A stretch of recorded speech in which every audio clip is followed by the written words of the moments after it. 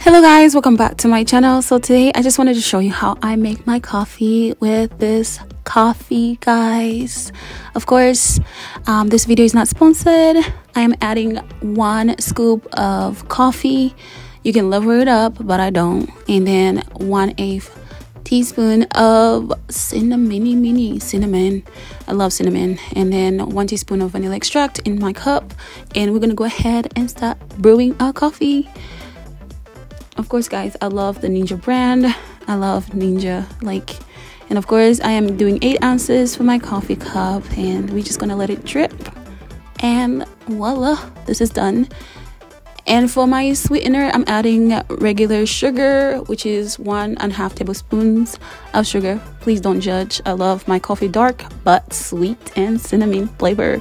So thank you for watching and i'll see you next time. Bye